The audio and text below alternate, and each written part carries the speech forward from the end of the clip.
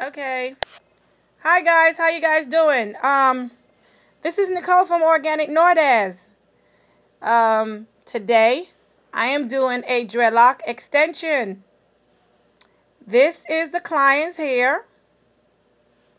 She got some big, thick, beautiful locks. So let me show it to you guys. Thank you. Put oh put put put on on YouTube. She's like she want to be on YouTube.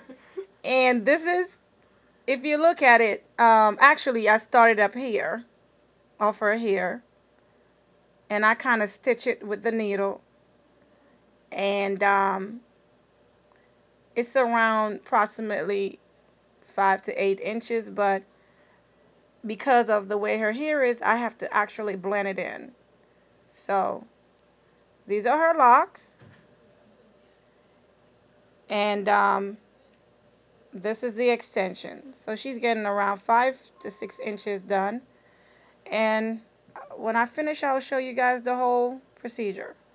Thanks for tuning in to Nicole Organik Nordaz, Temple Hills, Maryland, Iris Mall 2048.